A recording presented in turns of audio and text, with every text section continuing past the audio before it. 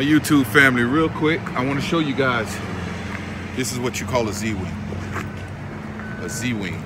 All these set up right here Z-Wings. And I know you're probably wondering why I'm asking you, why I'm telling you guys this, but the next load I'm getting ready to run, right? I got to remove a Z-Wing. So I'm going to show you guys. Right back in with you. Okay. Like I told you guys, here's one setup. This is the Z-Wing fully attached. And I'm gonna show you guys once I get to the actual, see how it hooks up to the truck. And then you got a U-bolt that attaches on both sides and chains at the bottom for security. Let me show you guys the chains. See, chains hook up to it, so it's securely on there. But I just wanted to show you guys the setup because when you, here's the second one. Okay, I just want to show you guys the setup. So when I go to undeck this Z-Wing, you guys can understand exactly what I'm talking about. You know, just giving you guys, you know, full understanding. But okay, let me show you guys too. Just once I get to Tennessee, I'm gonna check back in with you guys.